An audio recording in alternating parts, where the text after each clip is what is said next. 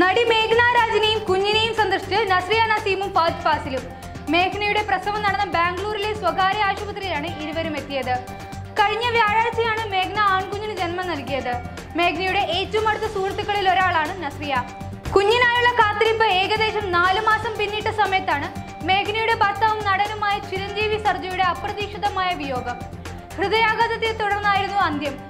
വീട്ടിൽ തളർന്നു വീണ ആശുപത്രിയിൽ എത്തിച്ചുവെങ്കിലും ജീവൻ രക്ഷിക്കാനായില്ല.